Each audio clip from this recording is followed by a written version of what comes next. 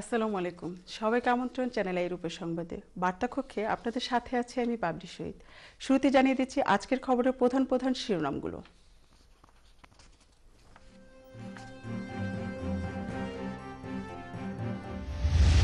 আগামীকাল local government ও London mayoral নির্বাচন সরগরম টাওয়ার হ্যামলেটস। সিরিয়া খাতুনের বিরুদ্ধে ভোট জালিয়াতির অভিযোগের প্রমাণ পায়নি পুলিশ। এই বিষয়ে আর কোনো তদন্ত নয়। ওল্ডহ্যামের বাঙালি অধ্যুষিত এলাকার একটি বাড়ির বাথরুম থেকে গলাকাটা রক্তাক্ত লাশ উদ্ধার করেছে গ্রেটার ম্যানচেস্টার পুলিশ।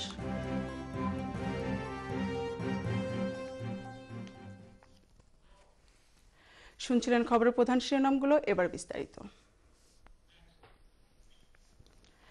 আগামীকাল অনুষ্ঠিত হতে যাচ্ছে সমগ্র UK local government, London mayoral ও ইউরোপিয়ান পার্লামেন্ট নির্বাচন। বাইশে মে সকাল আটটা থেকে রাত দশটা পর্যন্ত ভোট গ্রহণ চলবে। টাওয়ার হ্যামলেটস পাড়ার রয়েছে দশজন মেয়র প্রার্থী।